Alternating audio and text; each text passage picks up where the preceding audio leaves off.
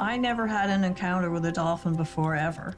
And lucky for me, he wanted to swim with me to the point where I'd go out there and he would wait for me to see him.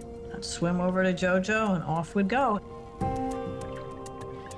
Dolphins, even when they're, for them, swimming slowly, they're moving along pretty quickly.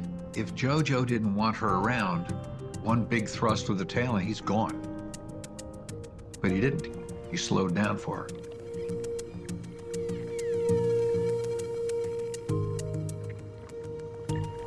This situation was absolutely unique, where the dolphin himself, you know, was coming to form a friendship with Jay.